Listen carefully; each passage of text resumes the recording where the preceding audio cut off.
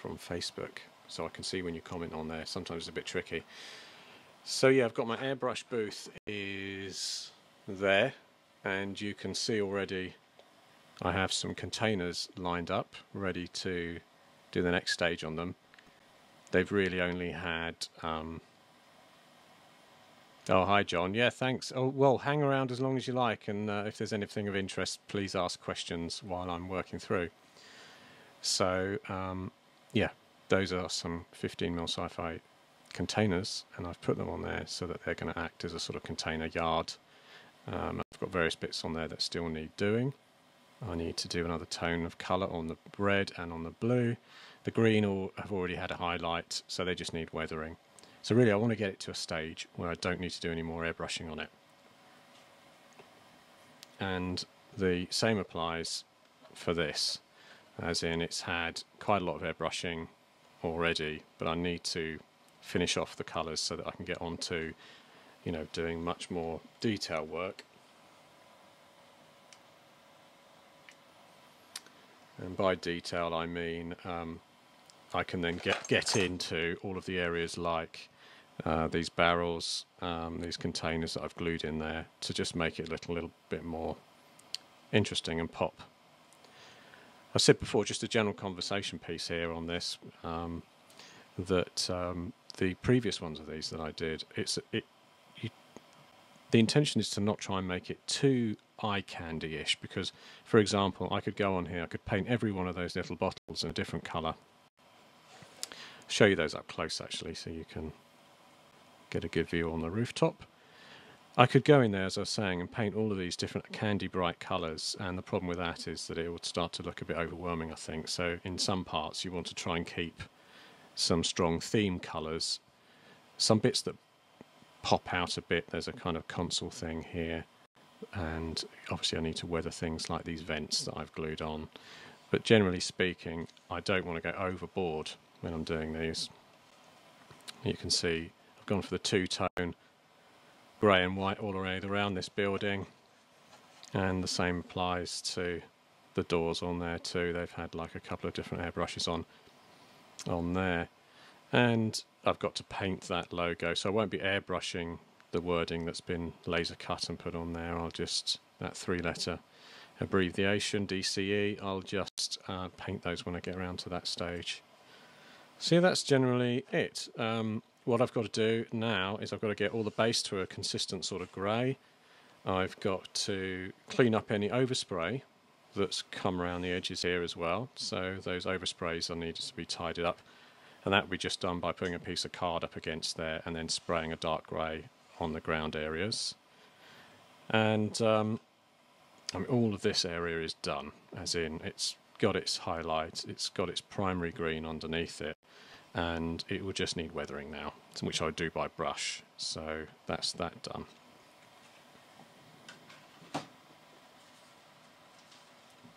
Just taken delivery of um, some very nice decal um, for railway models, and obviously you can see a container on there, and it's telling you exactly where to put the Maersk um, logos and stars. This is, I believe, N scale. No, yeah, N scale, these micro scale ones. So these N, which makes them rather small. But they'll look neat. I mean, that's appropriate for 15 mil, and I'm not going to follow the pattern because, you know, I'm not a model railroad uh, kind of person that wants everything to be super accurate. And uh, instead, I just want to splash these over. I might put them on the end, tail end, like that, because obviously a lot of those are exposed. If you look at the um, uh, airbrush, you can see the ends of the containers are exposed, so they will take a, a logo on there, one of these decals. But the big words I'm going to put on the side. Um, yeah, so these ones I'll put on the side, visible, um, where where the side of the containers aren't sort of butted up against another one. Again, I'll not follow the instructions strictly for that. And they also had this company, um, what's that, microscale decals they're called. I think they're in California. And they also did various other little safety warning signs, so I grabbed those at the same time and just think those would look great everywhere, either on the side of those containers or the um, or the buildings that I'm doing too. So that, I don't know if I'll get around to doing these later today um, because I'll be doing the airbrushing and weathering. But I think I'd like to put them on before I do a lot of the air, the, the sort of weather um, rusting and things like that with washes. I'd put those on before so that the the decal itself is getting a bit weathered and a bit obscured and scratched up, what have you. Um, so yeah, that's the plan. That's the final stage. This is the sort of icing on the cake um, when they're done. But I thought I'd just show those arrived this morning in the post here in Sussex. And who else is on there? John. Yeah, so okay. Oh, got two new comments. About to climb on my shed roof. Darn. How hot is it out there at the moment to climb on shed roofs? Um, so, right, back to me. And um, no, that's not me. That's it, GoPro. So, yeah, I better get started. Um, it's going to get hot. I'm going to get all sweaty over there. I've got a mask. Um, obviously, I need to put the extractor fan on, which is tucked over there. And um, I'll be moving to the other mic as well. So I'll just this mic will mute in a moment before I shift over there and start uh, just working through. It's really just a really is a sweatshop uh, here today to get these done. So uh, mask on, oh, which is always a tricky thing. Of course, what happens immediately when you get this on is I start sounding a little bit muffled. And also there's a risk of steamage on the old uh, glasses. So anyway, yeah, better go over to the other one. I'll get the airbrush uh, picture primed. So there it is. And I'm now going to mute this mic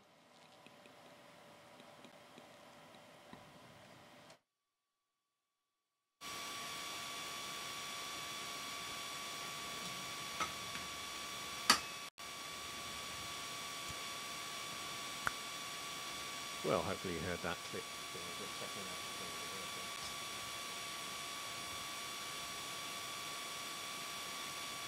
And I'm now over at the airbrush booth. Here I am. Is that zoomed in or zoomed out? It's zoomed out. So yes, so I'll start with the containers since they are the simplest because I can just very easily mask off sections when I'm spraying on there uh, so I tend to try and start my airbrushing with uh, with a simple job because you know who wants to um, dive straight in on trying to do some detail work because I need to get my hand and eye coordination working. At my age, those kind of uh, things take time to warm up, even though it's a warm day today. And uh, just what I'm doing over here, so I'm trying to just make sure I've got a video stream of what I'm doing available on show here. Well, maybe it's the sound, so that's working. Oh, looks like it is.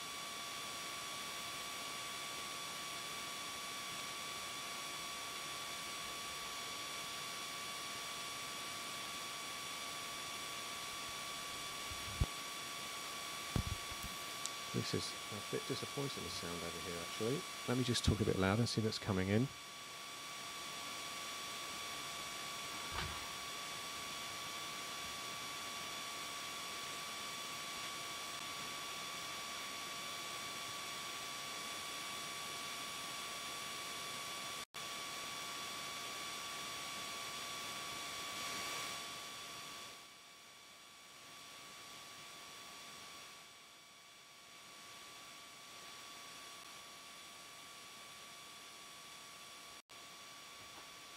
Yeah, unfortunately, it looks like I've got a bit of background hiss on this mic, so you know I'll try my best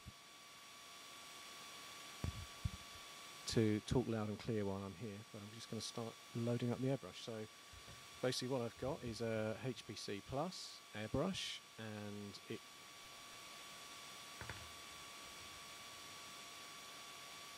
and um, the has a reservoir, gravity-fed reservoir on the top I've got one of these exposed crown style um, crowns, which allows me to get up close to the topic at hand. And I'm connected to a silent, Bambi silent compressor, which I'm using for the uh, compression of air through here. So what I normally always do with these is I crack off to start with with um, just a drop or two of airbrush flow improver in there before I start anything else Uh, just because I like to make sure the first thing sort of going through into the reservoir is just clean. Obviously I'm going to stir that up as well, but I like to sort of kick off with that.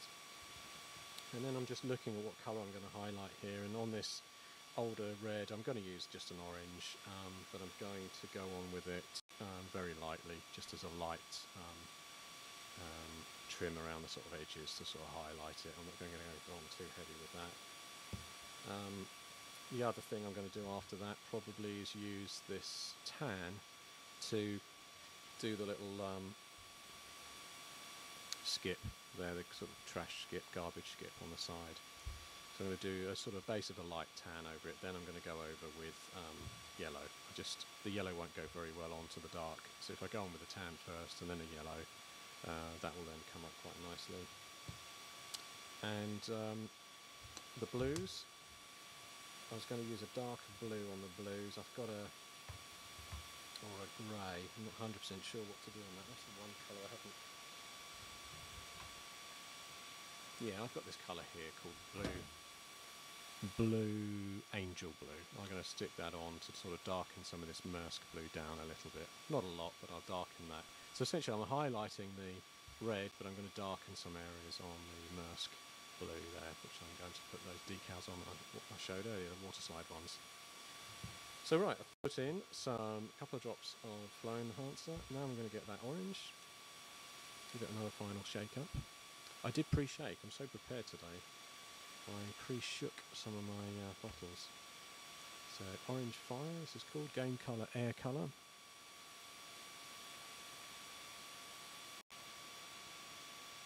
Right, so I have got some red on the other um, bases, so I'm going to use quite a little few drops of the the orange to give me some spare to overspray onto some of the other bases because I know I've got some red areas that I'll touch up as well.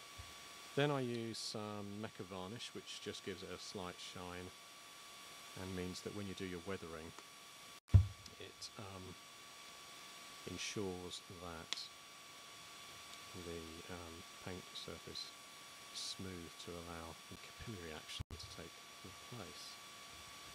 And then finally the other absolutely vital ingredient, which I always say whenever doing airbrushing, you can't airbrush if you haven't got a cocktail stick to hand because they're just great for everything to do with airbrushing, like picking bits of paint off the off the airbrush, stirring it, just everything you need to do. So yeah, it's in there. It's had it's, it's dripping. It's had a few um, drops of the flow improver. If anybody asks me exactly what the ratio is, I don't know. I just judge it every time, and generally speaking, obviously it varies every time too. So one thing I'm missing here is I am missing the, uh, a white piece of tissue paper.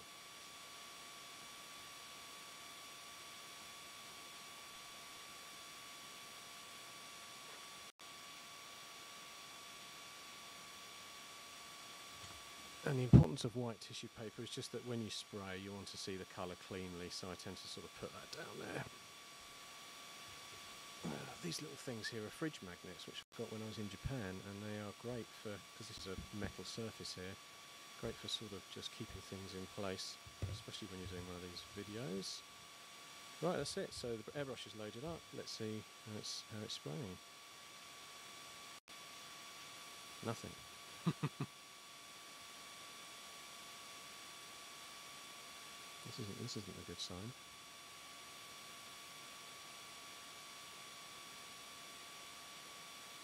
I just need a moment of letting some air through to, to get things rolling. Here it comes. there it is. So that's that nice yellowy orange in there, orange fire. And that's what I'm going to touch up this with. I can see actually, unfortunately, I'm getting a little bit of flakage from the the fact that these have been around a few weeks. They will need sealing properly in the end, but uh, here we go. I'm going to turn the noisy compressor on now. Sorry, not compressor, extractor. Here it comes.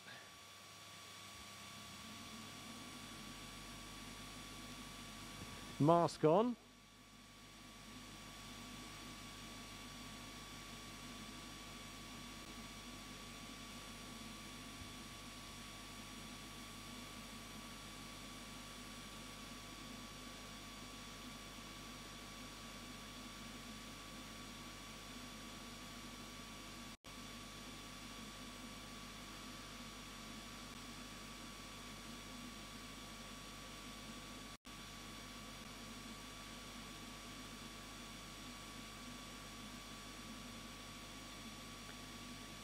So you may be able to see or not see, I don't know, but it's a, a gentle increase in colour on the side there.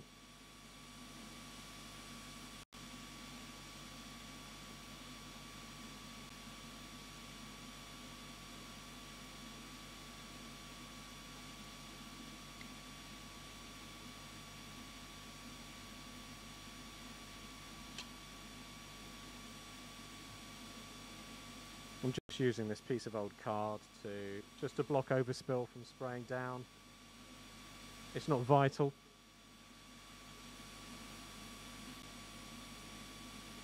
Ah, so John has said, I've just shared to a friend of mine who's casting 6mm Byzantium modelled buildings for me. Hirst Moulds, oh nice.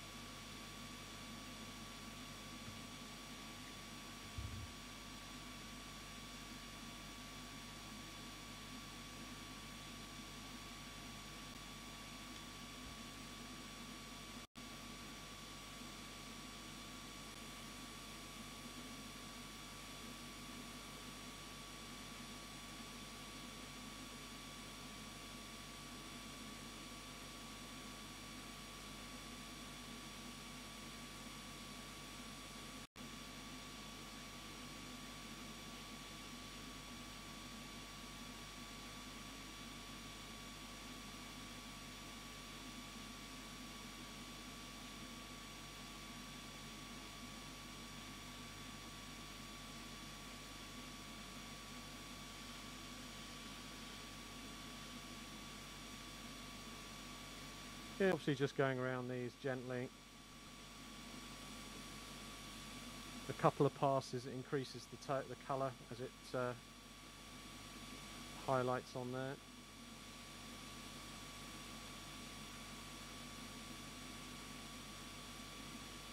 I'm not looking for a drastic result obviously and it doesn't need to be perfect either.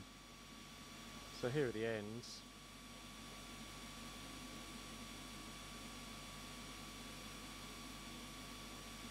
I'm just spraying over the top of those.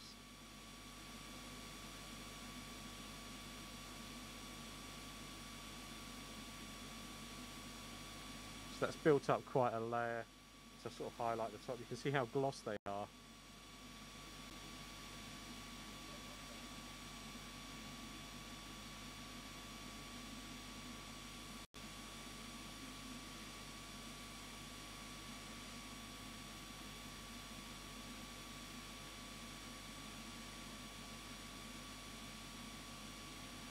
So that's gonna that's gonna do for this.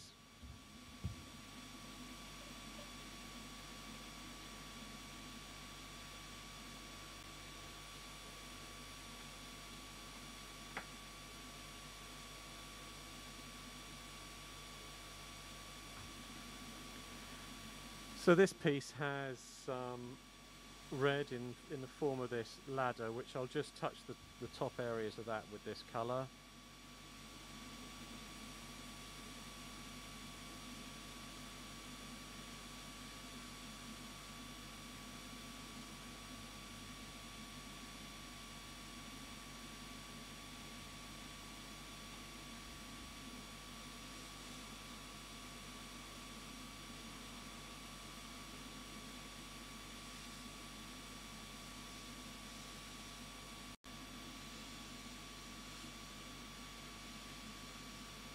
Not heading for a really bright difference, but just enough to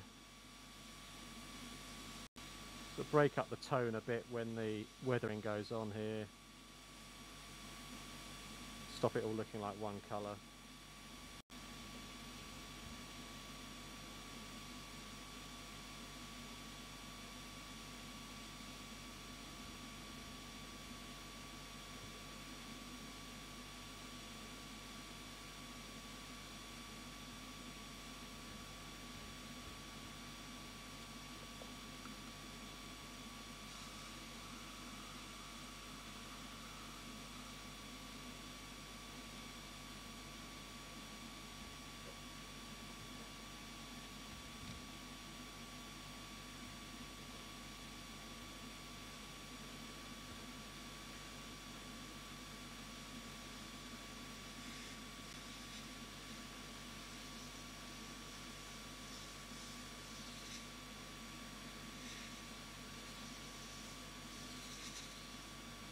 I've just gone down the centre of the steps, you can see the shine off it there.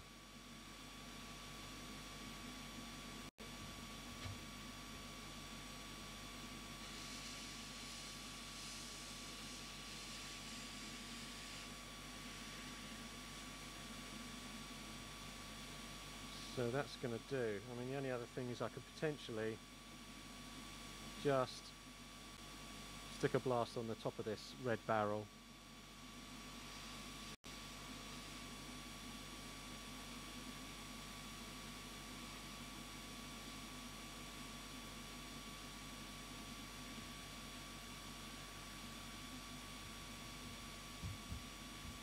that's fine.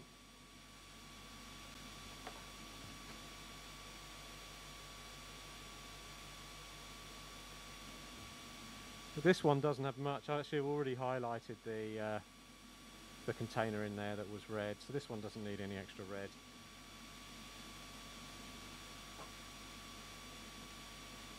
Or yellow, as it happened to be. So there you go, I've done that and I've suddenly realised I probably had too much paint.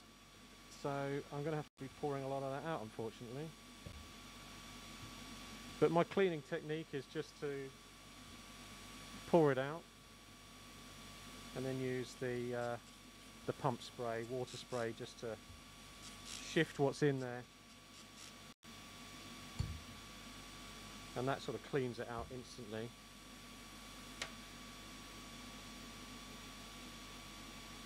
There'll still be paint to flow through, which at this stage I can just spray it through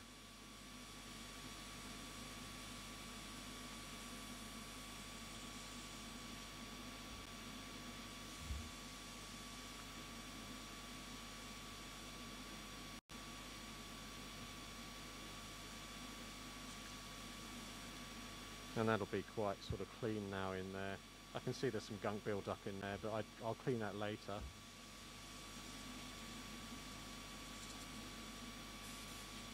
So next colour, that's the red done. I'm just going to hit a couple of things with this tan. I don't need much of it. But a couple of small details that I want to do yellow but I'm going to put this on as a base before I put the yellow onto it. That's a bit gunked up. That is handy about these Vallejo paints is that they are dropper based so you can go straight in with them, particularly for airbrushing. I mentioned the last um, the last video I did that um, they're really convenient because you can use them um, one-handed essentially you, well you can remove the lid one-handed if I was using one hand I can uh, you're holding an airbrush or you've got something awkward in your hand you can take that lid off and throw it away uh, to pick up later. One-handed which is convenient. Bit of a train spotterish like detail though. So a bit more of the varnish in there. And maybe a couple more drops. Then a cocktail stick. And just very small amount in the bottom there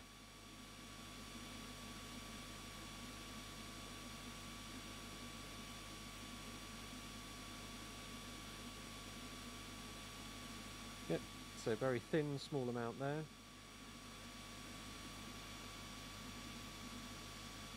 and that's coming through straight away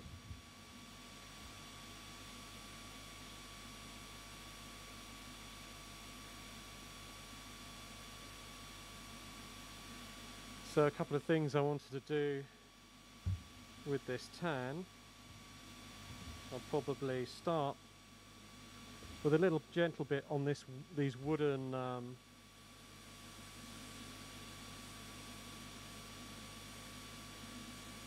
pallets down there just to sort of lighten up the edge of them there you go and then I've got um, a trash skip container hidden away in there so I don't want that to uh, overspray. So I just happen to have a, a little bit of card. Pop that in there. Obviously I will overspray sideways, but that helps me not go on the blue building.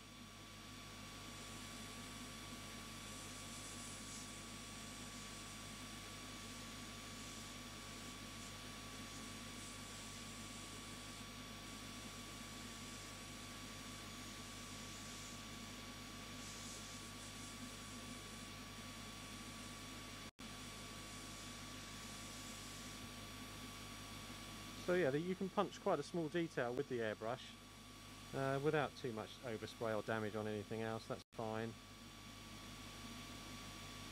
And uh, that's going to go yellow afterwards. So that's this one done for that colour. Uh, don't intend to use that colour anymore there.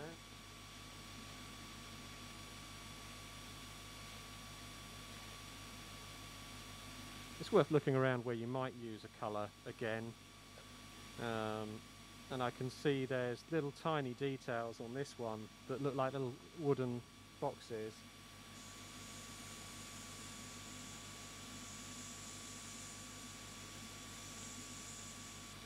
So I'm just doing those in that that tan colour too because they'll they'll sort of dry brush up as um, and weather up as like little wooden slatted bits.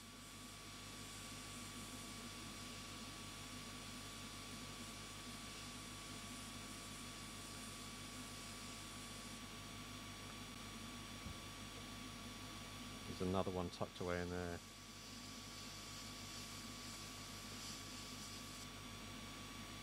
Yeah, just picking those small details out.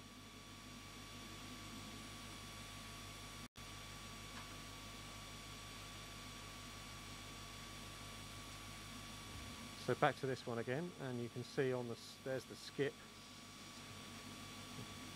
To needing a card.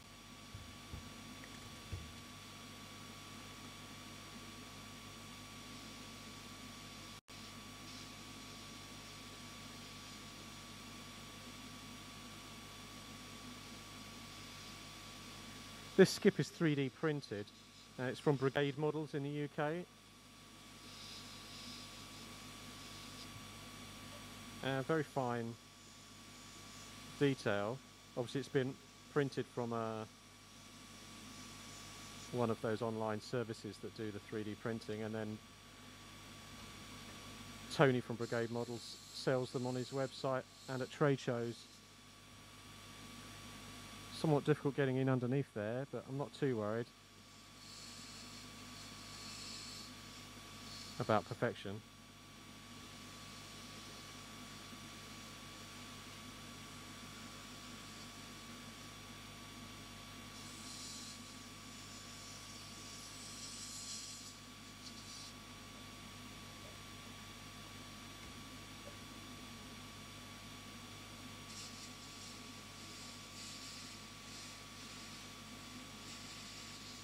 After all, it is a skip. So one thing here, just a note about airbrushing in general, uh, where I've gone in there and I've left some dark patches, when I go over with a brighter yellow, that dark will shine through and it will just look like a different tone of colour or shadow. And uh, so yeah, I don't bother punching every little tiny bit of detail in there because it naturally leaves some shade around that bit where there's some rocky, rocky bits on there. I don't know what to do about these. Um, I'm trying to work out whether I make them wooden or not. If I do, I need to do a sort of brown base coat on them. Um, so that might come next. Right.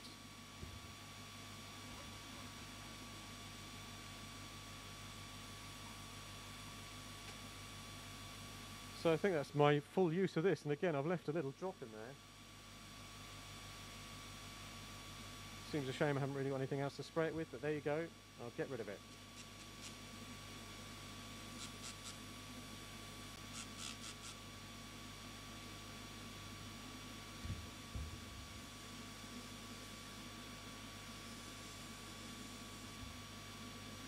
This airbrush is getting uh, close to a point where it needs a proper deep clean.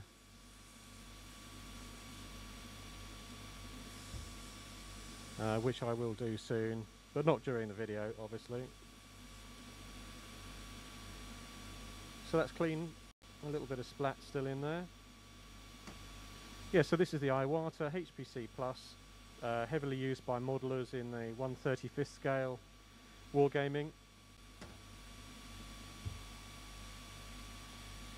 Right, next, do I go over with a yellow? I think I'm going to use a darker brown to do those yeah so I'll use this a green brown to do those box details on the top of the containers. So they're very small. I need to tell myself only use a very small amount of uh, paint. So again, straighten the airbrush with the flow enhancer first, just my technique. Just like to put something liquid in through to drag the paint through rather than getting it clogged up straight away. So there you go, example of one-handed use of the paint bo bottles, very handy. I know there's been a lot of news recently about um, Games Workshop paints and how you might um, prevent them from tipping over or use them because they have unusual um, lids, don't they? They're not. Um, it's not too easy to get your paint out if you're trying to, for example, get it into a airbrush at all. That would be a bit of a tricky job to do. So again, cocktail stick. Always use a cocktail stick for the mixing in here. It's never done them any harm. I've done this for eight years. Um, just make sure that paint is nicely stirred and that's what the reservoir's for you know use it so I've got that sort of tan in there get some of these things out of the way which I've been leaving out there check that's coming through so there's that nice tan brown now I need to get the object to spray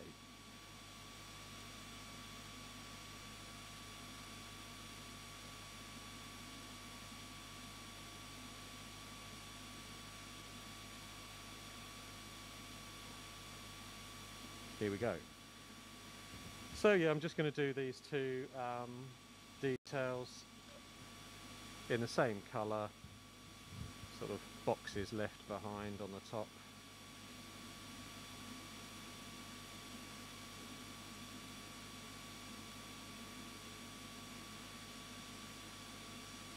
Don't want to make them bright colours because the whole thing will look like a, you know, candy jar if I um,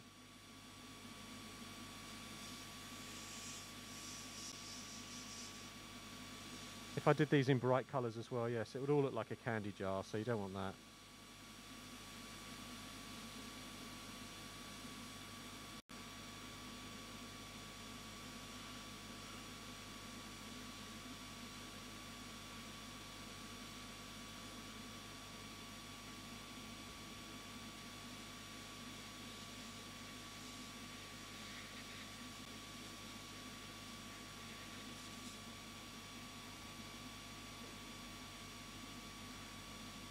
Annoyingly heavy this because it's made of resin, all these uh, little containers.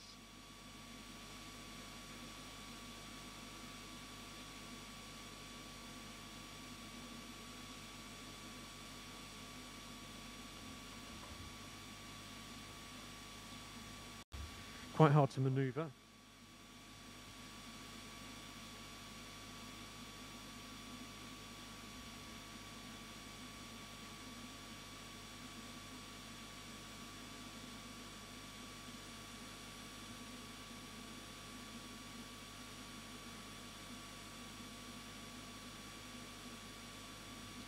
I think I mentioned before, overspray is not a big deal.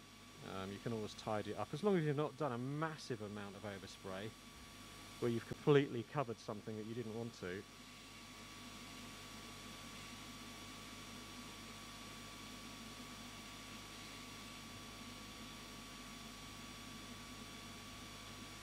Yeah, so these will be just done up as sort of dirty old boxes that someone's thrown on the top of here. Maybe they had ordnance in them at some point and um, they're now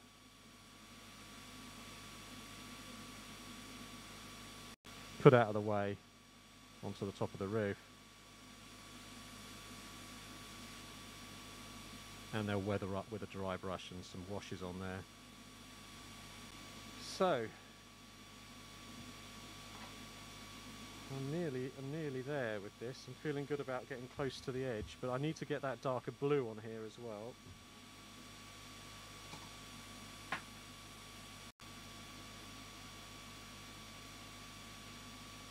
Right, I generally don't think I've got any other use again for that colour in the airbrush.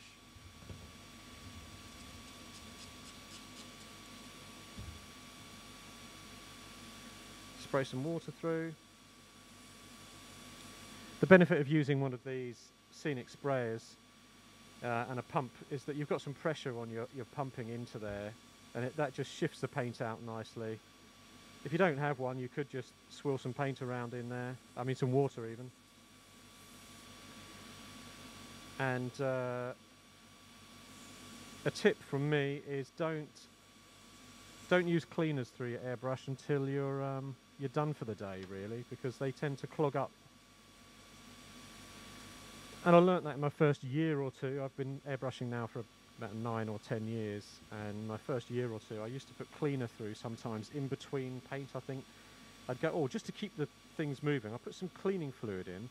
The problem with that is the next time you put uh, acrylic in the clean any cleaning fluid left reacts with this and turns it into a sludge.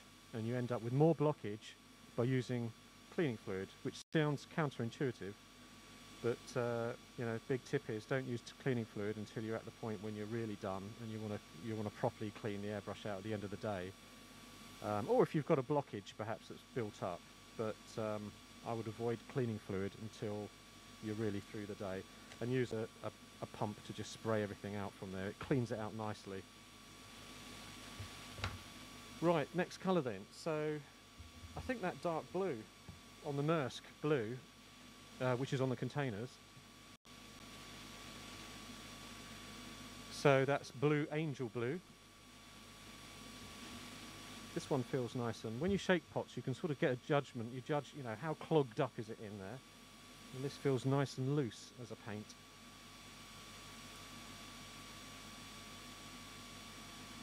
So as usual, straight in to the reservoir with some airbrush flow enhancer.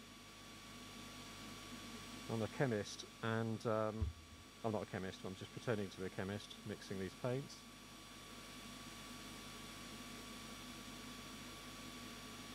Trying to not go on too heavy but I ended up putting lots in, but we'll see. And then obviously the Mecha varnish again to give it a gloss which helps with the weathering stage. Well, put lots of that on too. Find a clean cocktail stick. Mention again.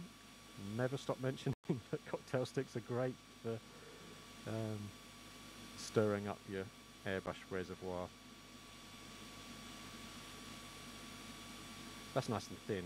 And that's how I want this because I don't want to go this, I don't want to really darken down that Maersk blue. Now for once I'm going to put the lid on. You don't have to do that, but yeah, I've just done it.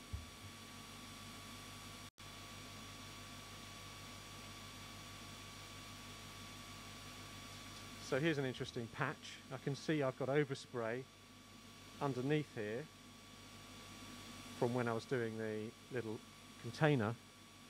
So that's a good target for using some of that blue.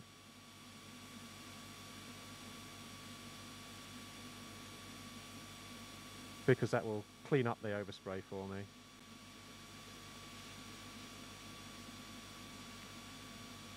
and that's quite dark so I'm going to, to be careful with that and I went in a bit close there too but obviously let's see how I get on.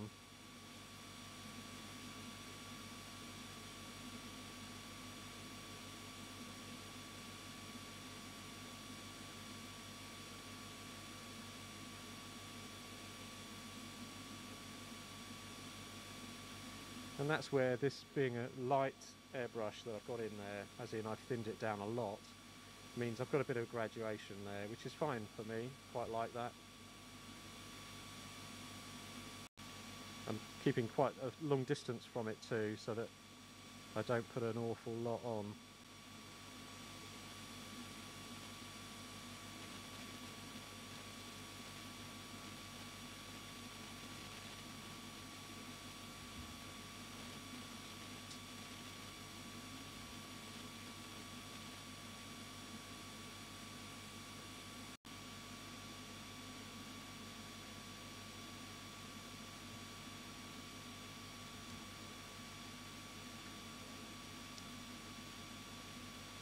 Think I mentioned in a previous video that um,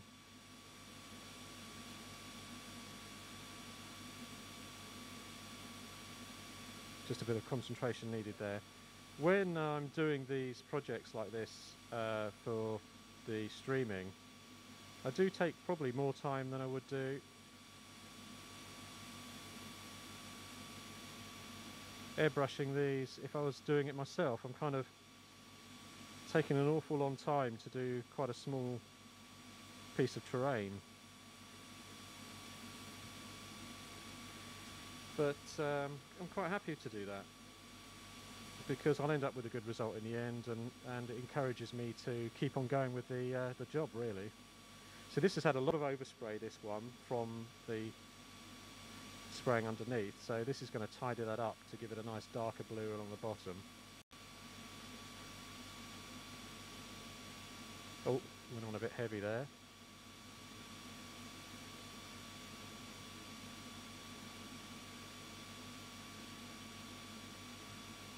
and that's where you can get quite subtle graduation with a with an airbrush around the edge of that. No idea how I'm going to get into that one. I'm going to try. So just hold the card there and spray in and pray.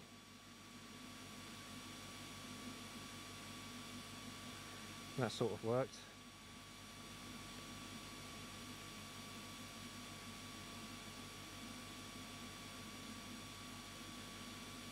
Yeah, at this stage I want to try and avoid more overspray onto other things because um, I'm nearly done with the airbrushing, so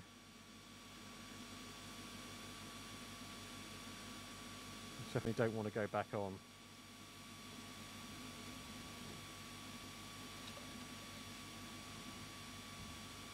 There's two here that are obvious candidates on the end.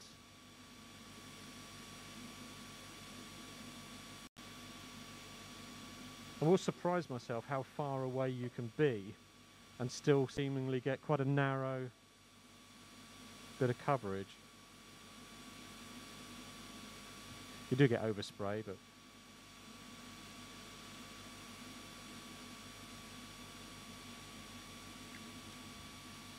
right. Edge is done. I think the only thing I'm going to do is possibly just do a really sort of subtle difference on the tops just to again add some gradation and difference weather bleaching or something not a great deal just enough to sort of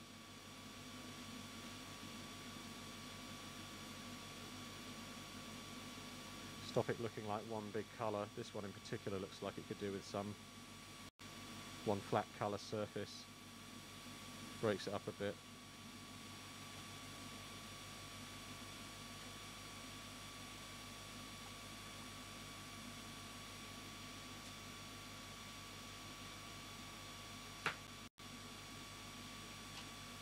this is the first time we've had proper reuse of this colour because I've now can punch some of this uh, blue into this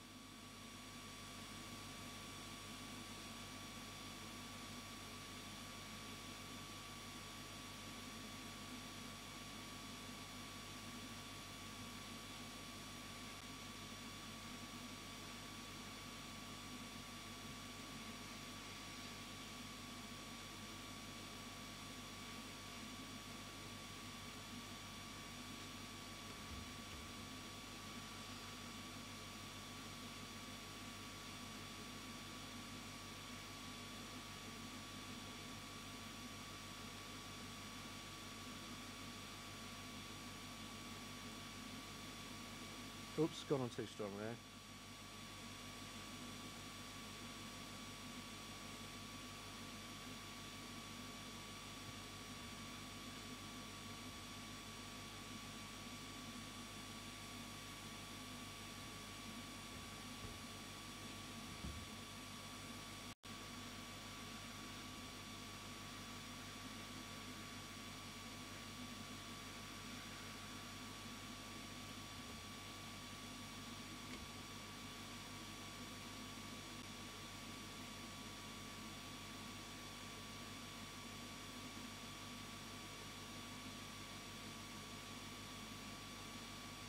And around the front of the workshop. This is hard to get into that gap. This is where a pro modeler would have uh, not put this on the base yet.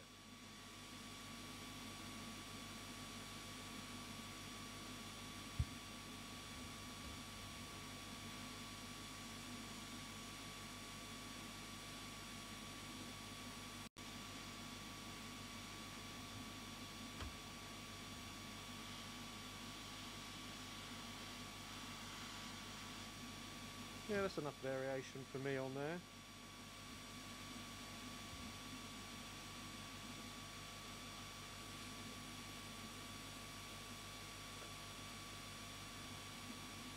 No, there's no real re there's nothing on this one that needs it.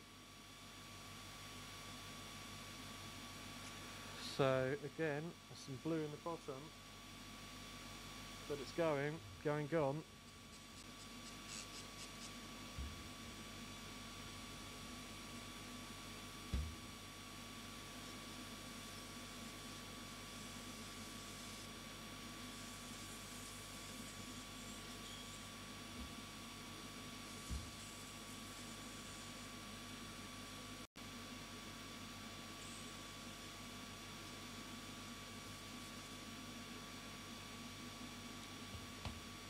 Right. Just going to take a break from the airbrush for a moment.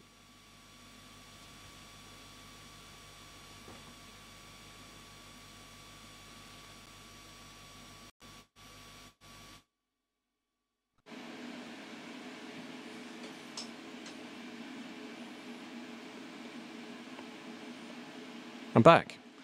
I'm a bit low on the stair, on the chair. Oof got quite hot over there, and um, but feel quite successful. I've got quite a long way through those. What I've got down here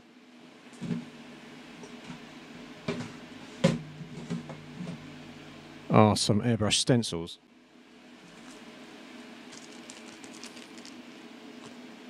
That's kind of a hex shape. Um, I quite like the idea of putting some of those on the side of the building, just to sort of sci-fi it up a bit.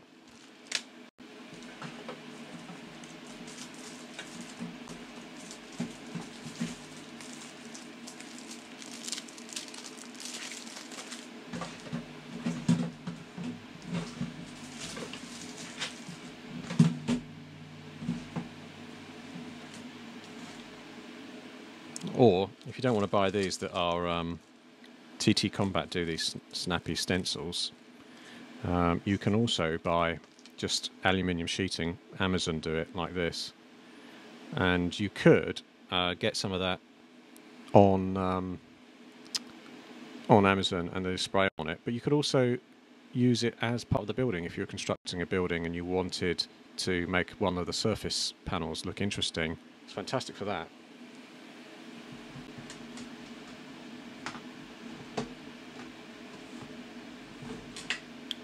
So yeah, a bit of hassle getting this. So these are uh, obviously acrylic sheets that I've had cut into shapes, and I have an idea to um, uh, build these into sort of boxes for terrain. And one of the things I was thinking of doing is using this kind of material to break up the surface for, in a sci-fi sort of way. So that would be glued on. You know, I might put window details cut into there as well but um, I would do that as part of that project.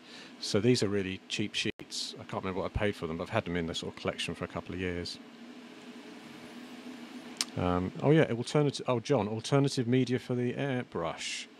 Yes, there's all sorts of different things you can pump through an airbrush: enamels, acrylics, uh, alcohol-based paints as well, inks, proper inks. Um, so yeah, that's an idea I've got. So I'm going to probably spray through that in a minute on those pieces to add some interesting bits to them. Uh, this is another project, I've got lots of these, and I've actually got the special glue needed to glue acrylic together. So you know the stuff you use on Games Workshop plastic? Uh, it doesn't work on this acrylic because it's too tough, but if you buy the uh, super glue, it's not super glue actually, but it's a kind of a super weld stuff, um, you need to use it outside, don't want to breathe it in, it will weld these sheets together and you can make boxes from those and then terrain. So that's another project I've got in mind.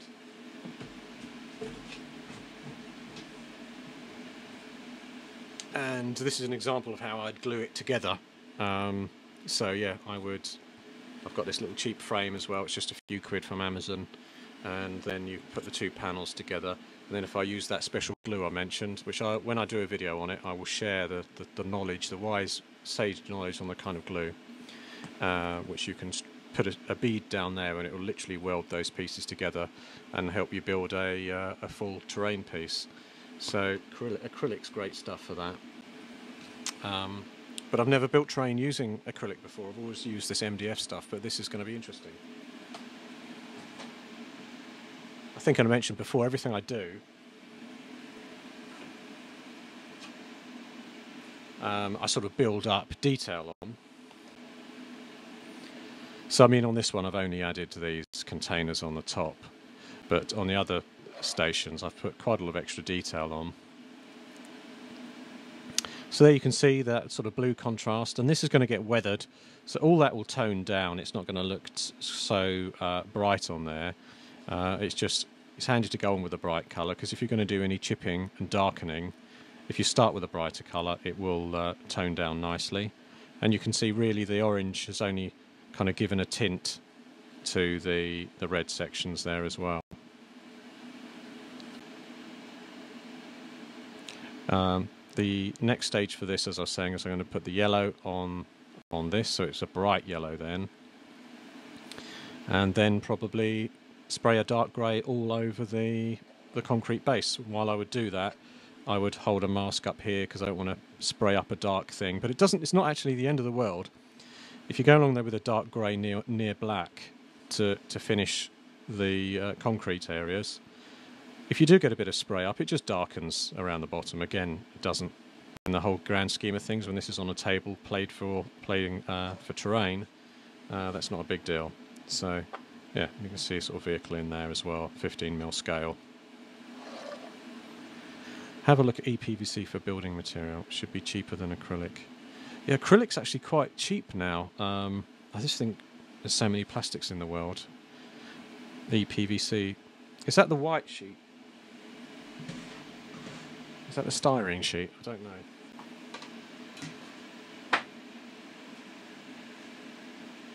So on this one, you can see again, I've darkened around the edge. Um, it's just given that tone, and when this has had a wash and weathering detail and blackening and chipping, that will uh, again bring that out nicely. And the doors on the back now sort of go up from the darker colour at the bottom. And the you can see where I, I sprayed that yellow on there probably need to do something around that door. It's all gone a bit yellowish. Uh, but again, if it's weathered and this is painted, it'll it'll snap it all back together because um, it's not the finished article until it's all weathered. One thing I tend to do, which is part of when I do the dark spray on the base to get rid of the overspray and, and, and neaten the whole thing up, is I will also put a little frame around the windows, uh, plastic card frame, and then spray the dark colour on those uh, that leading in there as well. So that's the other thing I do.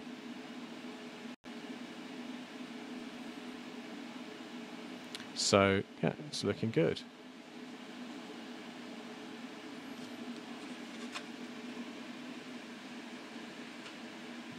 Haven't really done anything extra on the roofs. They're they're done really. They just obviously they're not done finished, uh, but they're done as far as airbrushing is concerned on there.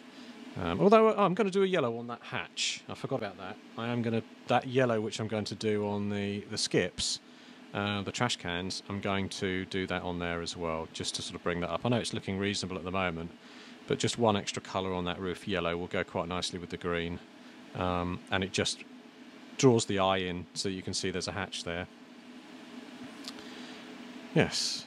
I mean, if you're interested in this and this is the first time you've seen one of these videos, I did do one of these on the masking. So it's in the Grunts uh, page and on the Rotten Lid uh, gaming YouTube channel as well. I went through how I masked these and put the tape on. That was an earlier video. So, I think that's me. Um, had a reasonable break. Uh, I do have another one of these. I, I picked this up at Salute this year. Anarchy Models Hex Grid Small Mini. These are probably the best for the job because um, they're flexible. You can fit it onto a flat surface. You can push on it like that. Quick spray, and it doesn't matter that some of this is sort of hanging away there. I can spray onto there, and it's going to give me a good grid. So actually, I'm going to use that. That I'm going to use as building material, as I mentioned before, on the side of uh, on the side of a uh, building wall.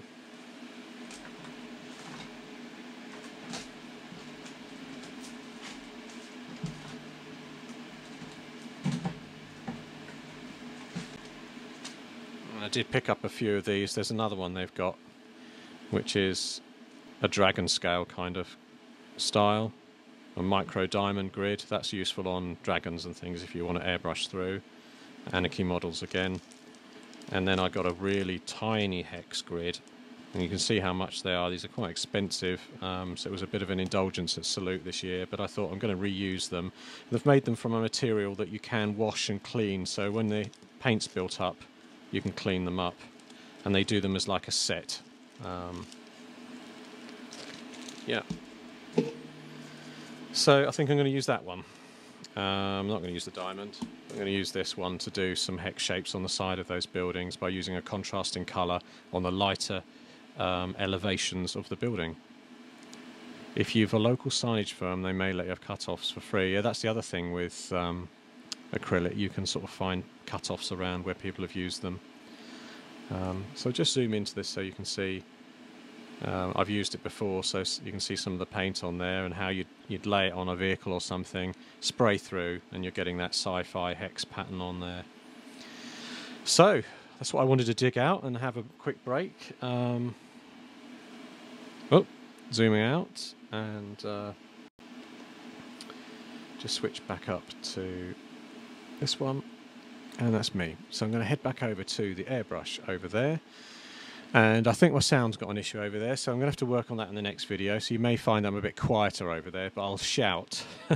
and hopefully people will hear that when I'm uh, streaming.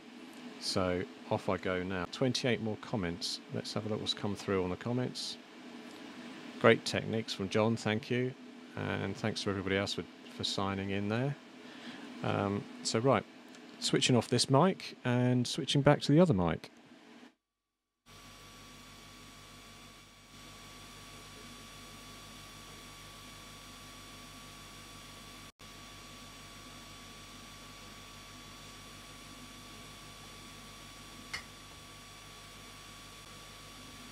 I'm back, and hopefully you can see me. Uh, there's that uh, stencil I'm going to use.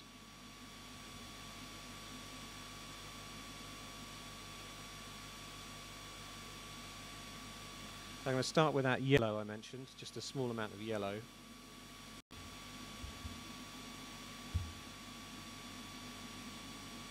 Just this colour, yellow.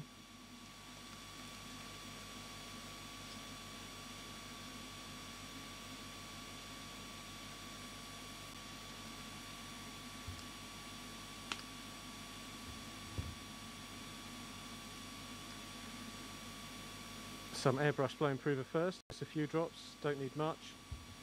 Then on with the yellow. hopefully I've shaken it up enough.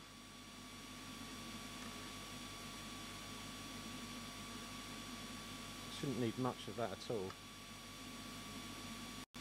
Managed to get it on my finger.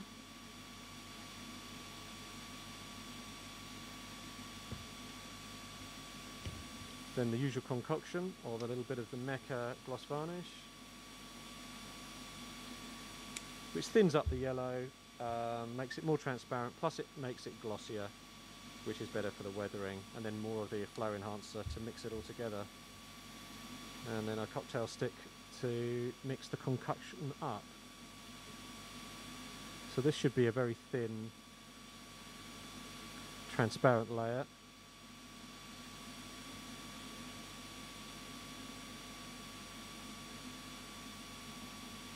See that I'm getting the yellow through there. There it goes.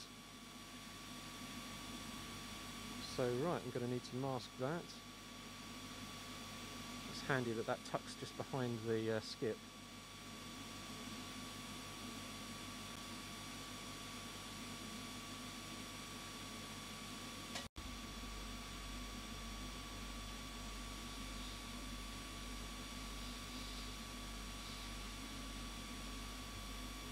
Can see again the darker areas that I didn't put the the tan colour on underneath are, are meaning that the transparent yellow is leaving that shadow behind.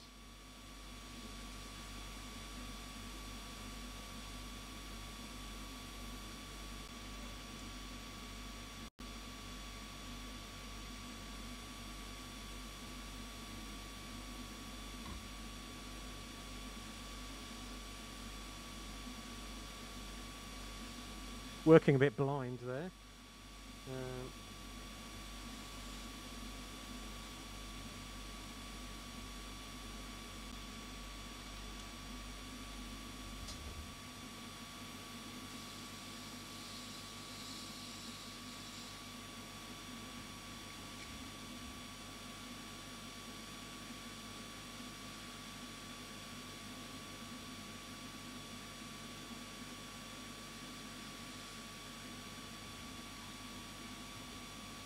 One yellow skip.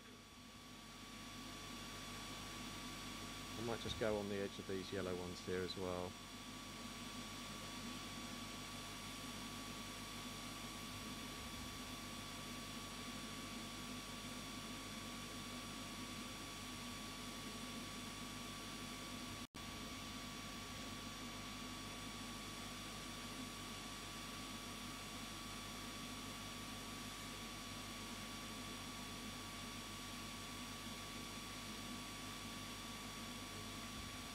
Okay, that's all the yellow I want on there.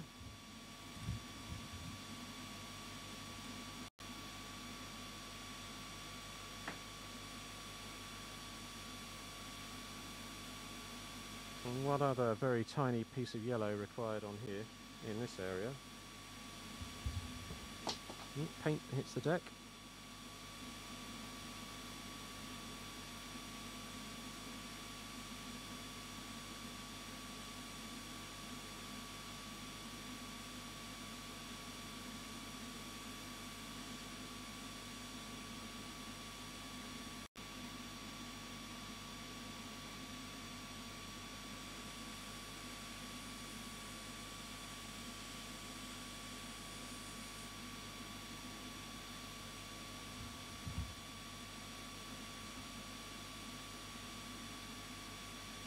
So there you go, two kind of yellowy skips to stand out. I'm not going to do anything else in yellow.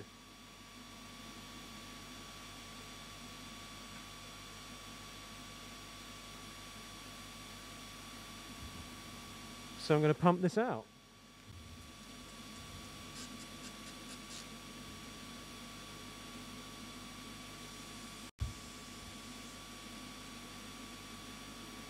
Just need to get myself a new tissue.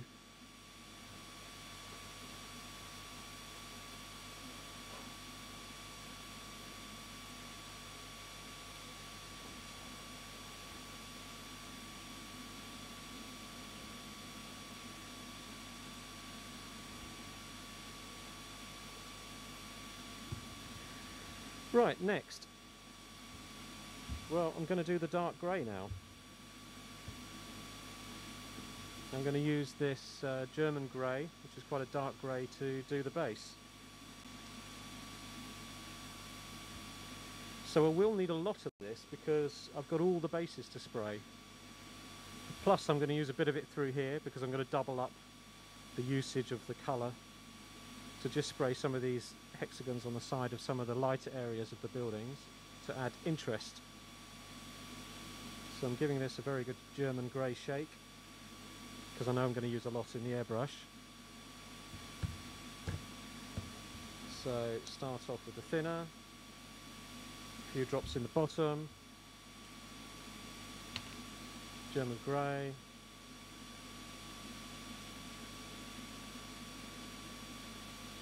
Ooh, there's a lot gone in there, so I may not need it all, but we'll see how I get on.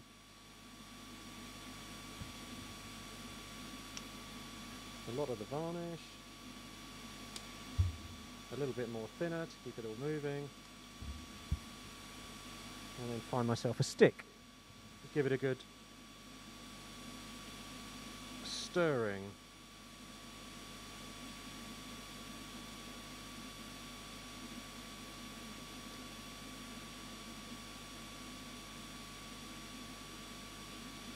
That's it, it's loaded.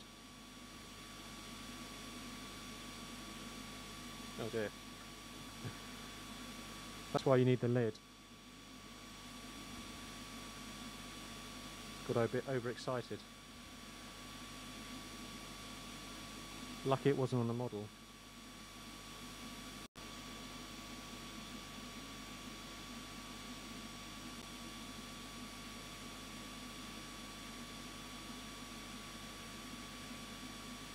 Fingers are covered in it.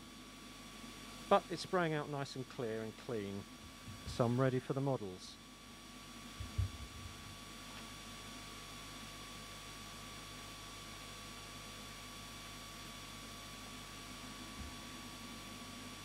So I could probably do with a larger piece of card.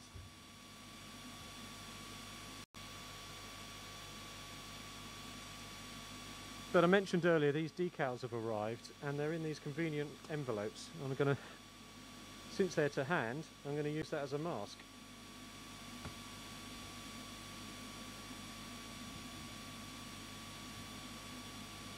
Also see some rubbish built up in there, some bits of dust and things.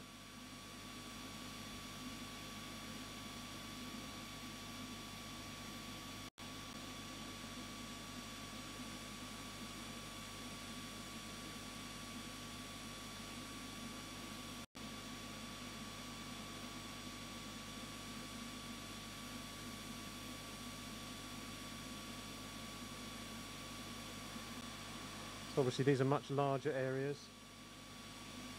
But you can see, hopefully you can see it's cleaned up already that edge um, at the bottom where I had overspray.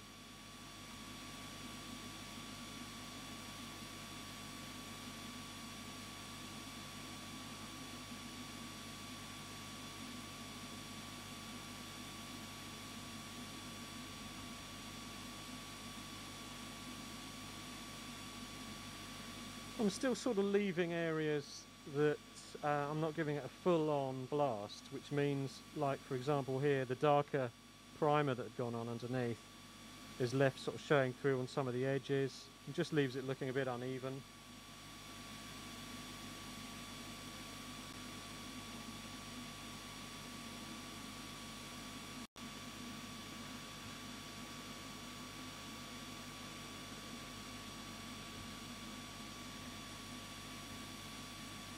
Sometimes you do need a smaller card as well.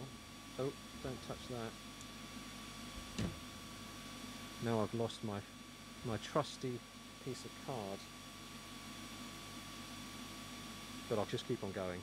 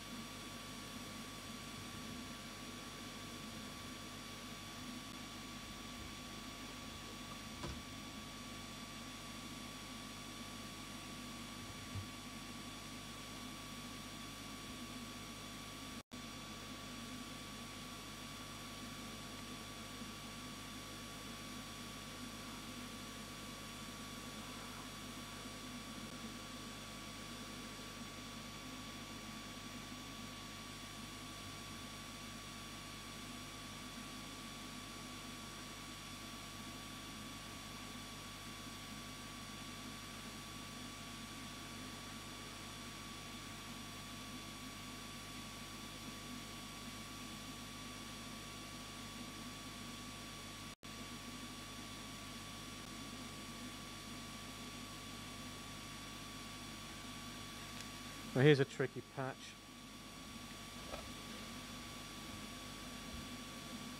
Just along those edges there.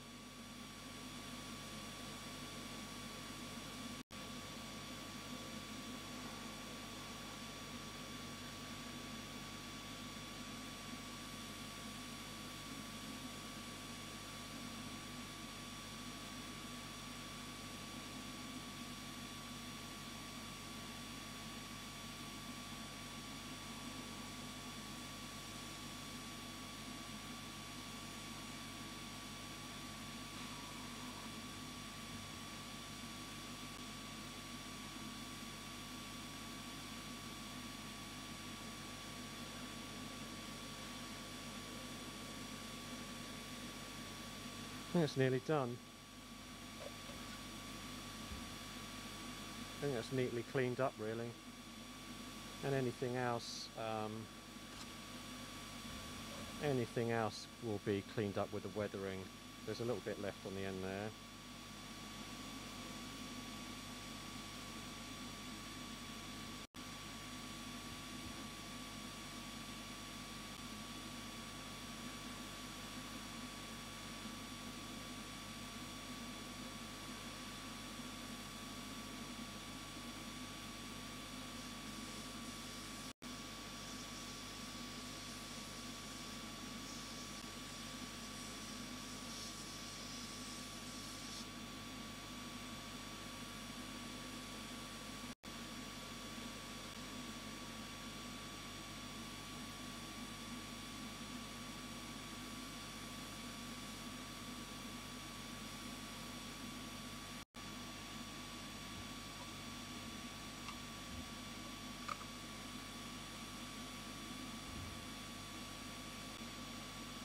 Yeah, that's clean enough to me for a wargaming grade. Oh dear. Lost the lid, nearly lost the paint.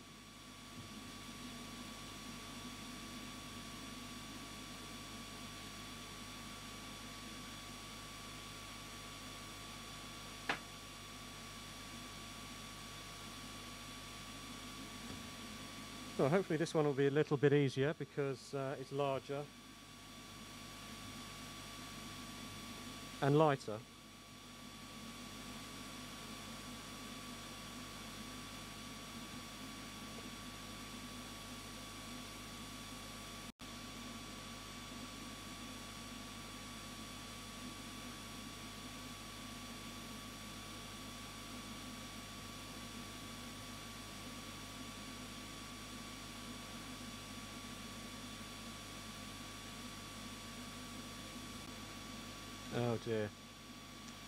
Why I needed the lid, and I shouldn't have let that lid go flying. I've got so much paint, it's going all over the shop. This is what happens when you're live.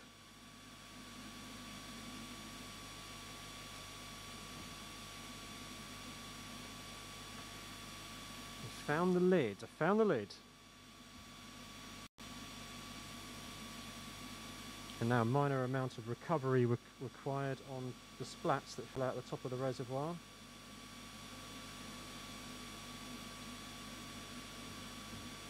And of course they'll just have to look like oil stains, I'll weather over those later.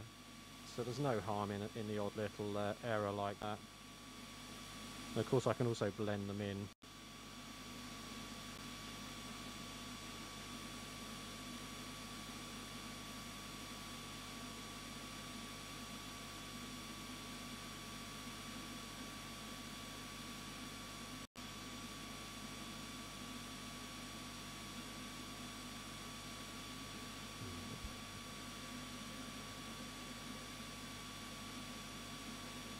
Right, along the front, details.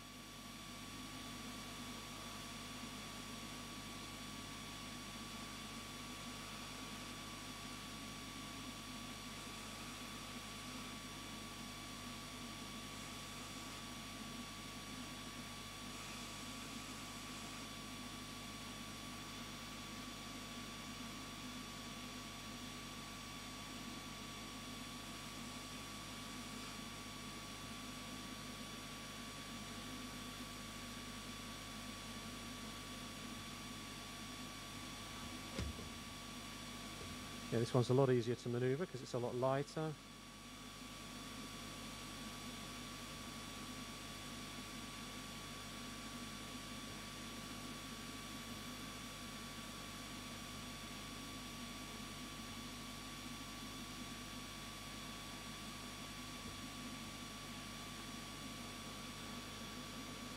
Yeah, it's rather hot this weekend in the UK, uh, which is why I shun the light and come inside to do airbrushing.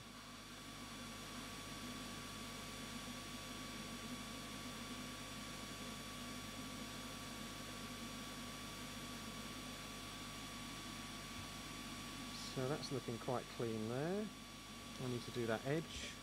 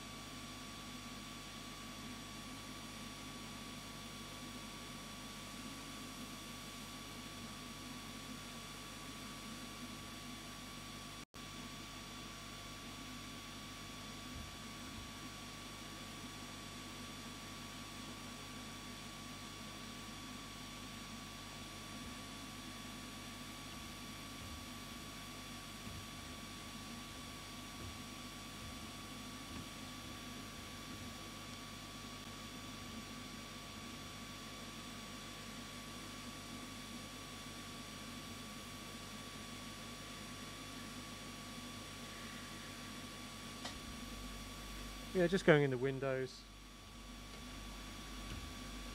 I'm not going to mask them because I'm just doing it in a rush now.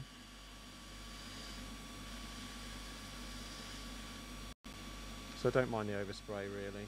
And the same with these windows. I think I'd already sprayed some up here in the somehow managed to get a cobweb across there.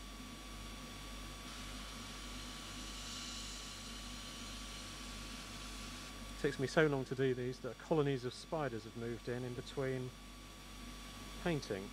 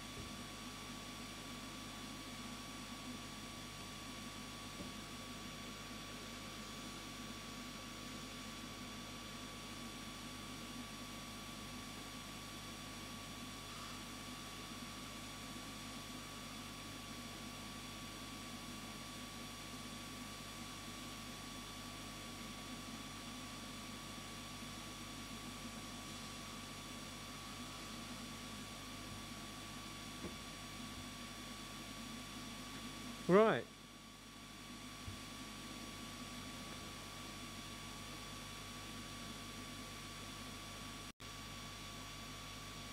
The last one for this uh, groundwork. Must be really exciting to watch, but uh, I thought I'd record the whole thing for prosperity. Oops, almost dropped everything everywhere.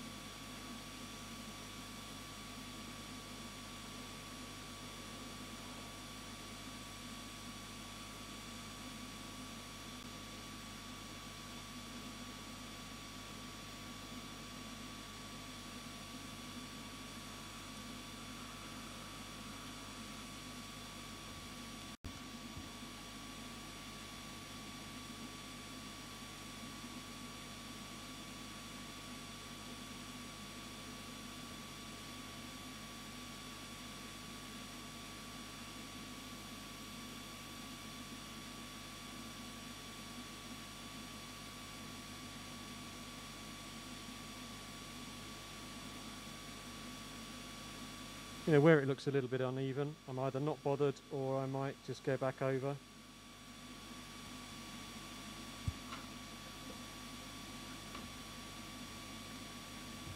Do I even bother masking this side? I think I will.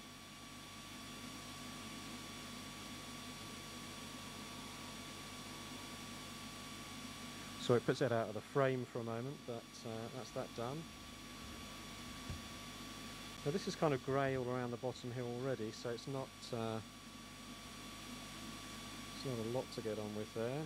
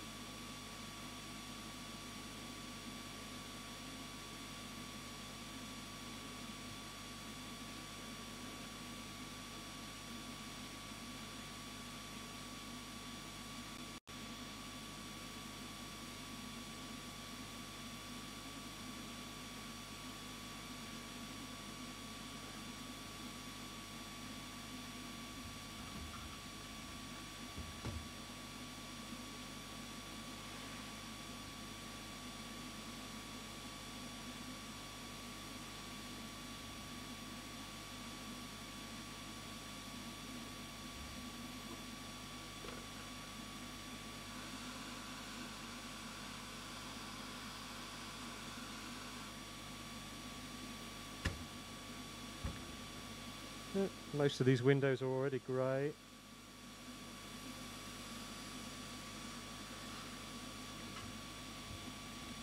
Right, so now the masking. So where do I put it? I've dropped the mask.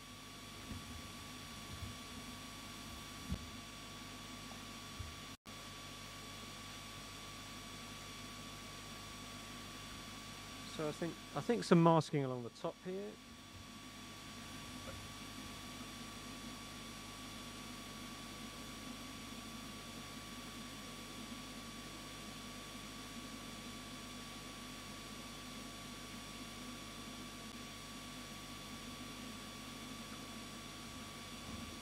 Just sort of adds a bit of detail to the edge of the building without uh, overdoing it.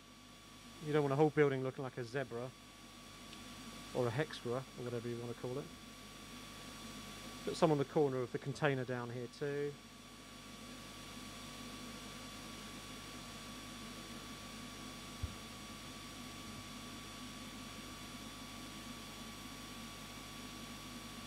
And possibly just up on the top of the other side there, just on the corner of the building again.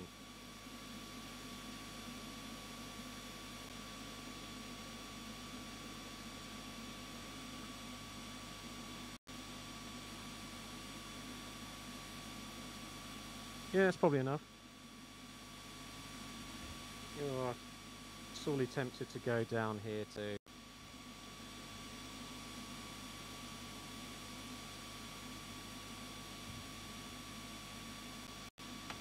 Oops.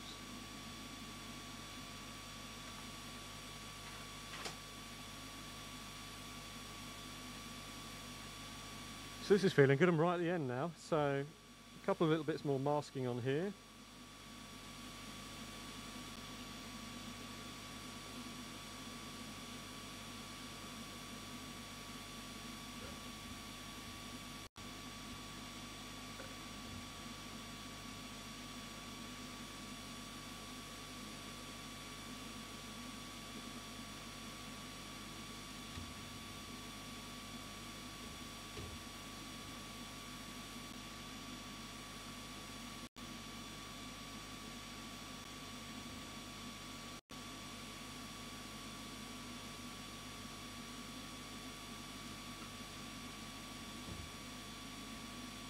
Might do some on these doors, just on the edge, or maybe, yeah, yeah. No, I'll just do it on the white.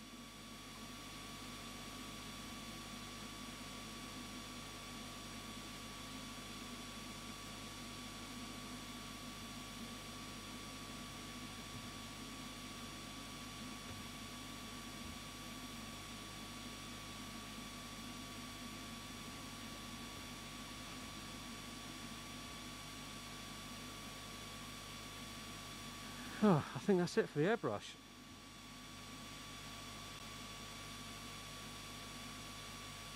Now that is it, that's as far as I'm going on the airbrush. Over to detailing then. I'm going to turn, oh no I'm not going to turn this off yet. Let's get this out of the way.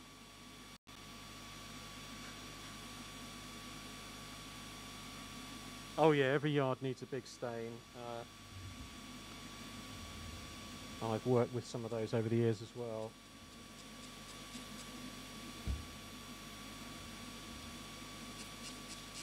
So this is a pleasing moment. I mean this airbrush needs a deep clean soon, but I'm just going to obviously clean it out before I uh, head back over and get that dark grey out.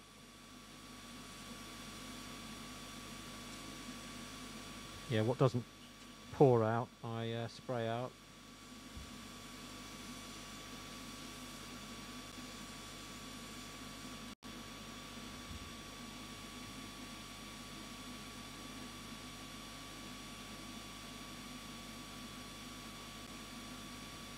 So you get to see me clean my airbrush. It's thrilling, thrilling, thrilling material. Um, but if you want to look up close as well, I mean,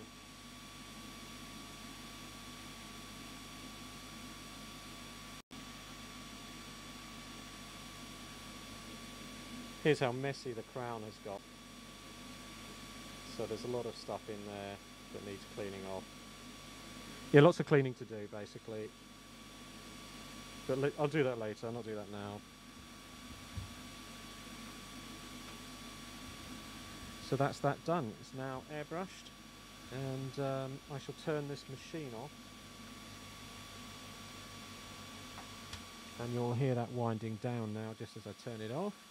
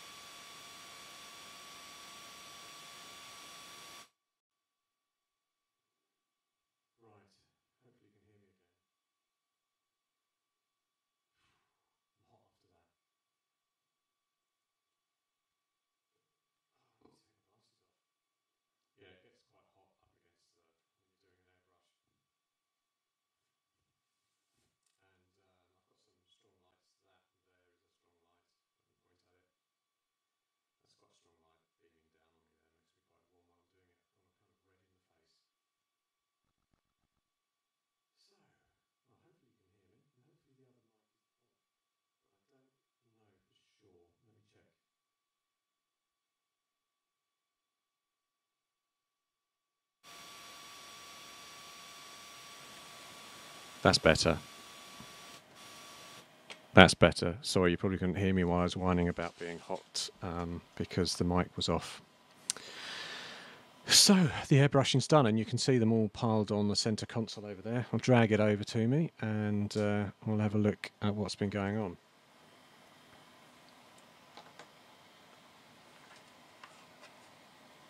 If I can zoom into this locally. You can see how everything's been sort of cleaned up in terms of the whole base is now kind of uniform colour. Um, although it's still drying, although I didn't go into covering everything, so it looks a little bit broken up.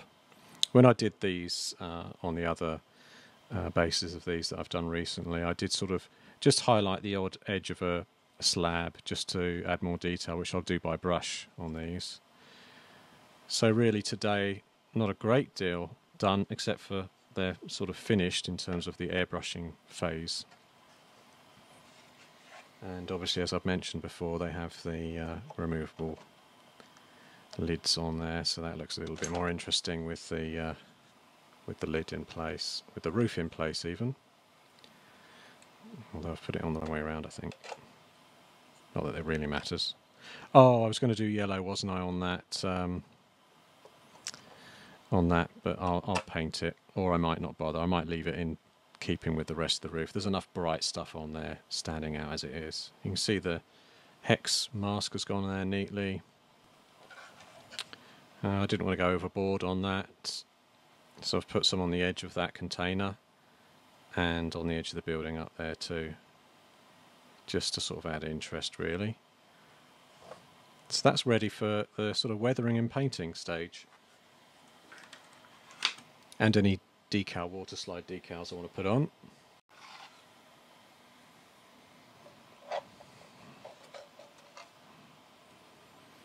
And uh, here we have the nice bright yellow skip, which will take some sort of chipping and weathering. And what else was done on here? I mean, really, it was just cleaned up again, wasn't it? It's ready for weathering. It's looking quite smart now. At least I think, anyway.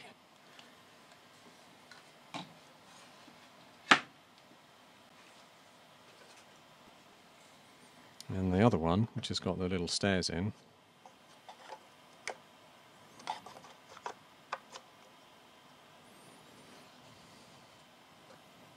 is now also cleaned up and ready for washes and weathering to tone it all down and uh, bring it all together, making it look a little less bright and a little bit more rusty and worn in is what's required next.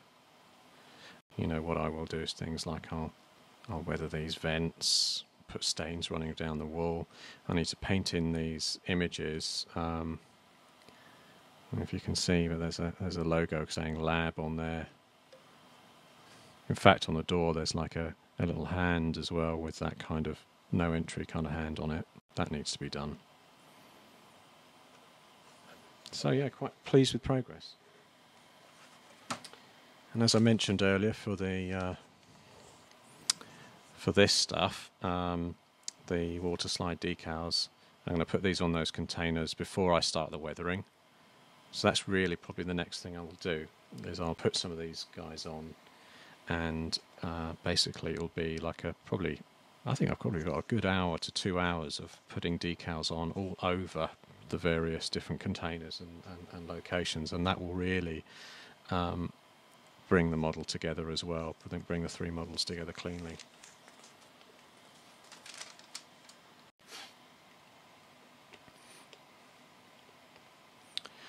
So I'm going to take a break now because how long I've been going?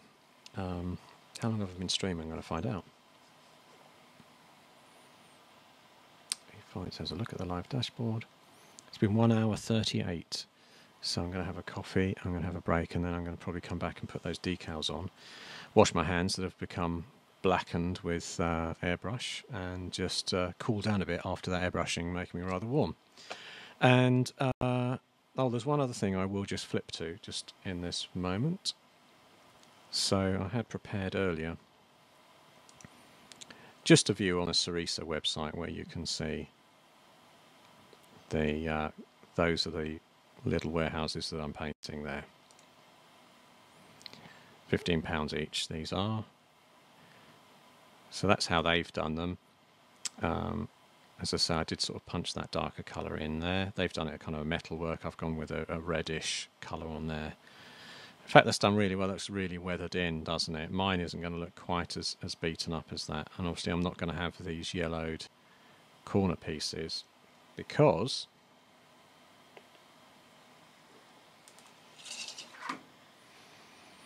I hid my MDF joints because I put a bit of plasticard down both on all the corners so it just disguised the sort of MDF nature of what's in there. In fact, once it's all weathered up and complete, it won't look very MDF at all. It's all going to just look quite uniform, I think. Uh, the other thing I'm going to do, which they haven't done, um, is I'm going to put uh, plastic behind all of these so that they look shiny. So I'll have a piece of uh, clear perspex behind or acetate, I think you call it, the, the, the plastic. So that's going to go in there as a final stage after all the weathering and painting's done. Um, and that means that um, just as you move it, the light will catch off there, and it will look it will add some add some realism to that. Yeah, so you can see they haven't put any glass in, but I'll put that plastic inside, and that's why I didn't glue the lids of the roofs on um, because I wanted to be able to get in and as a final stage put that uh, plastic and glue that inside. Uh, the other thing I've been looking at again recently is um, actually on the uh, Sarissa site here, there's some nice other new ones that I hadn't noticed before. Uh, I don't know if anybody's seen that movie Battle Angel, but there's quite a few sort of old style buildings in it like these, but with potentially with tubes and pipe work and everything kind of hanging out of it. So I quite like look at these um, Chateau. And again, a good price. It's 15 mil, 17, 18 pounds really. I think you could sci-fi this up with some interesting containers. You could use the top as a, a fire point. Yeah, I'm not rushing out to get it though, but I just quite like the look of that. Going back into my archive in Google Photos, these are from Ainsty, and I built this before I moved to this house, so sort of 10 plus years ago. I built these Ainsty um, down below space station kind of layout. And uh, it's a rather nice um, terrain piece. As you can see, we've this is from Old Crow, this little um, car workshop. I gave everything a, a, an airbrush here as well, this kind of weathered style. And I made quite, oh that's not the same one, so if I can go back, no, wrong one, there it is again.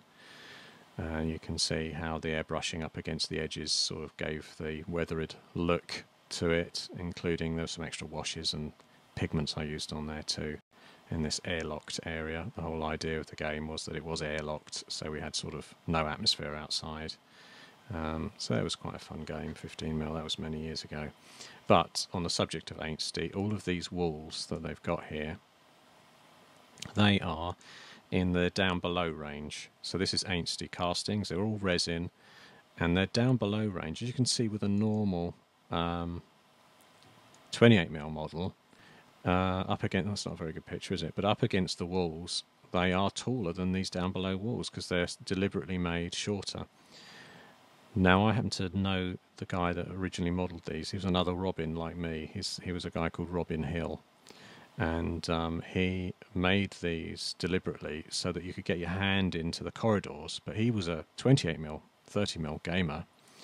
Um, but he thought I'll do lower walls because I mean when you're gaming with it, um, you can grab the models easily. Like you see here, the walls are lower than the than the model. So that was his design principle, and that's why I used it for my um, my grunts games because I thought for 15 mil it's perfect. They're not too high up and they're uh, they're looking sharp. And my whole um, plan for Salute that we're going to do at the Wargame Show next year is I'm going to use more of the Ainsty terrain from their various ranges and I'm going to sort of scale it for 15 mil. So I'm going to use some of their um, floor panels and pipe works and various other. Skywalk is another one that they do. I think over here is their Skywalk skywalk. So they have these nice raised platforms. So I've got a few of these things, and they scale well for 15 mil. I mean that ramp on this particular walk um, works for anything. Um, it just it's just a bigger rampway for 15 mil. It doesn't have to be um, accurate to a, a, narrow walkway for 15 mil. In fact, that's a very narrow walkway, isn't it, for a 28 mil character? It's not got much room either side, but for 15 mil, you could get a squad running up there quite comfortably, or a vehicle if you were building it into the terrain layout. So definitely fantastic, um, fantastic stuff from Ainsty, and really quick way to build models with detail because everything they do comes with floor plate detail, details underneath. Um, so you're already your job's done for you already before you start airbrushing it. And if I switch back now again,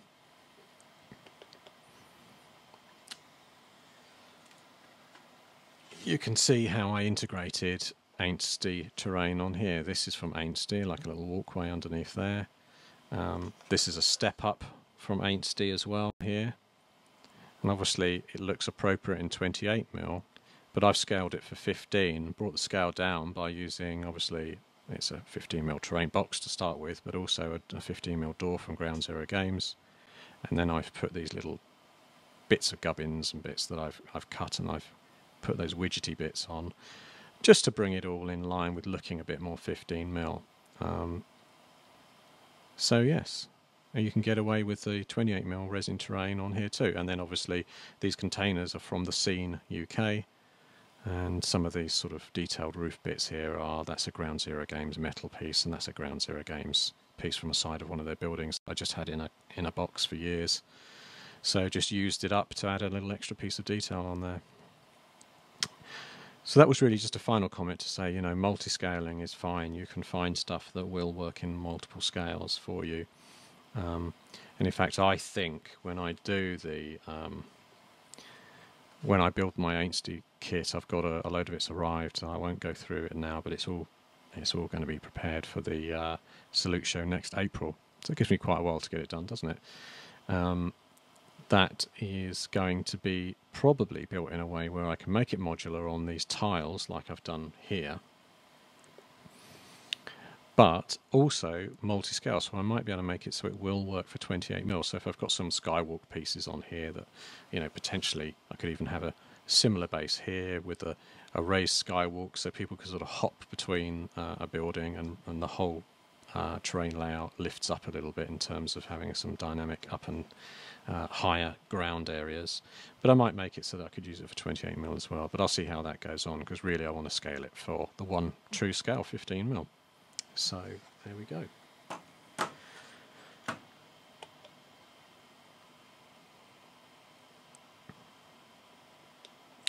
So I think I mentioned I'm going to take a break now because I'm all hot and worn out and I'm coming back later to do the decals on these. So that may be this evening, maybe tomorrow. But thanks very much if you've listened in. This has been one hour, 50 minutes almost of me doing the airbrushing. Hopefully, it looked okay through the camera. So, thanks for watching. And next time, I'll be down here which means there'll be less noise from the airbrush and uh, I'll be doing the detailing so everything will be a little bit easier to see and less of that clumsy me moving things around to airbrush which tends to obscure the uh, the job sometimes. Whew, there we go. Goodbye. Thanks for watching.